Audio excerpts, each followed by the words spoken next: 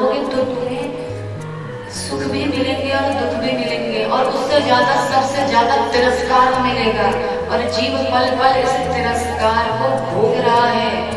कह नहीं पाता, लेकिन ये वास्तविकता है कि पल पल में वो तिरस्कार उसके मन में बार बार प्रहार करेगा। इसीलिए प्रहार की जान जा, असली घर कौन सा है तेरा? यहाँ तुझे केवल कर्म करना है, शरीर यहाँ रहे मन तेरा इनमें ना रहे, जब मन इनमें ना रहेगा तो बार बार उस तिरस्कार का एहसास तक नहीं होगा, क्योंकि अपनी उस असली माँ से वास्तविकता से, वास्तविक हम उस अपनी माँ को जान जाएँगे। जीवों को लगता है कि मैं अकेला हो गया, कोई है नहीं मेरे साथ। पल पल में दुख आते हैं इस मन में कह नहीं पाता जीव किसी से। तो भगवान कहते हैं, उस क्षण तो मुझे बार बार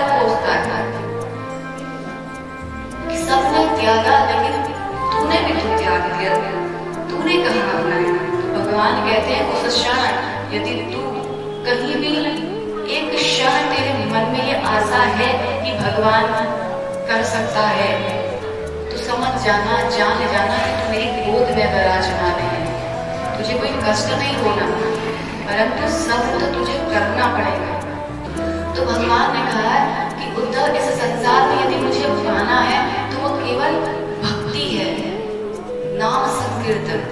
केवल भक्ति से आप मुझे पा सकते हैं। अब उद्धव जी कहने लगे कि कैसे पता चलेगा?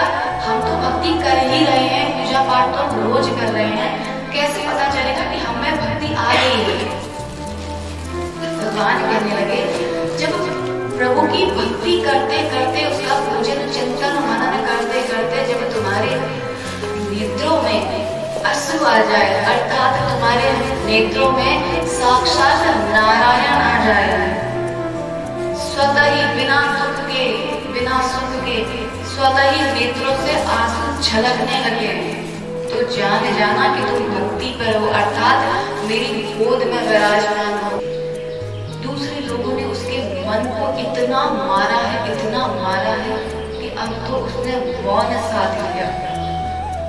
और जब जीवन में मौन आया है सहते सहते तो उसका समाधान प्रभु ने स्वयं किया है। फिर जीव को समाधान करने की आवश्यकता नहीं है।